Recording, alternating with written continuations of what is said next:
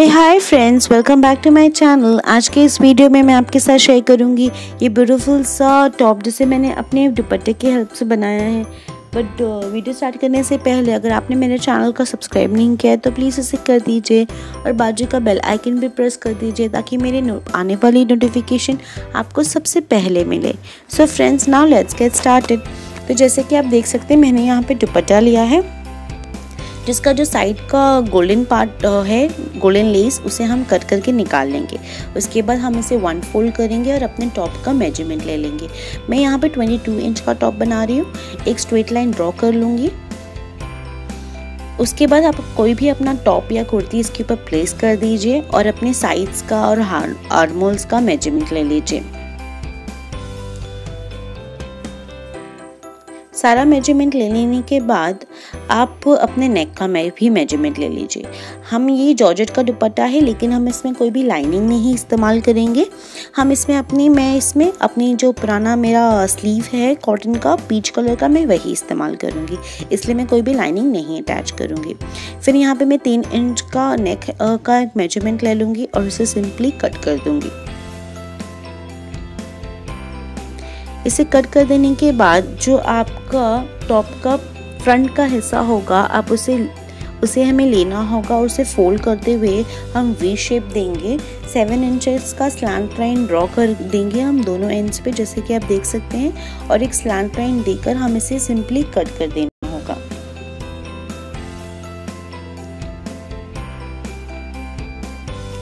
Cutting हो जाने के बाद आप देख सकते हैं, ये यहाँ पर जो फ्रंट के हिस्से में ये ब्यूटीफुल सा वी शेप आया है।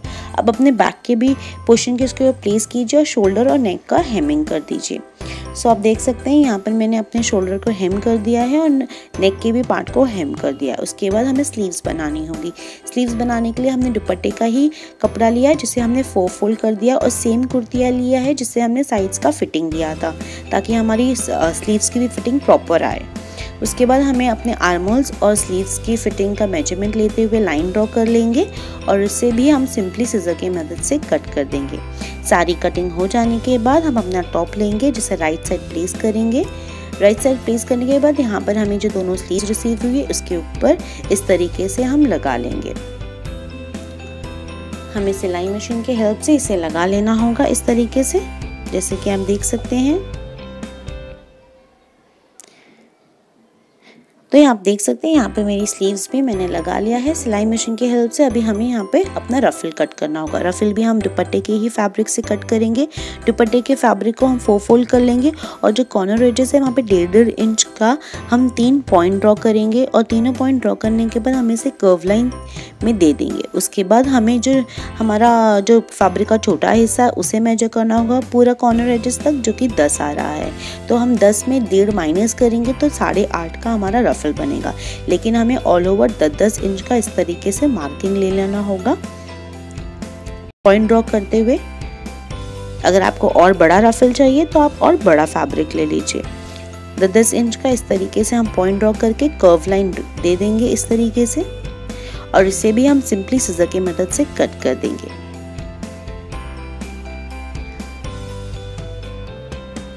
उसके बाद सबसे पहले हम इसे का ओपन करेंगे और जो साइड का जो हिस्सा है, उसे हम कट करके अलग कर लेंगे और यहाँ पे हमें दो बेल स्लीव रिसीव होगी।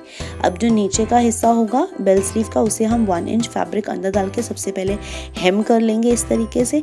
हेम करने के बाद जो हमारा डेढ़ इंच का छोटा हमने कर्व काटा था, वो जहाँ पे हमारे स्लीव्स का एंड हो रहा है, वहाँ पर हम उसे ज्वाइन करेंगे। रॉन्ग साइड प्लीज़ करते हुए हमें अपने टॉप को इस तरीके से बेल स्लीव्स के साथ ज्वाइन कर लेना होगा।